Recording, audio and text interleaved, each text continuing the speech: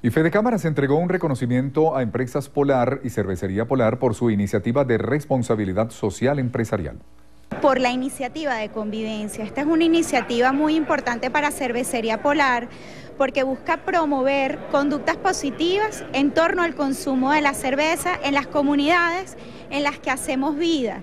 Eh, no solo desde el punto de vista comercial, sino también desde el punto de vista de producción.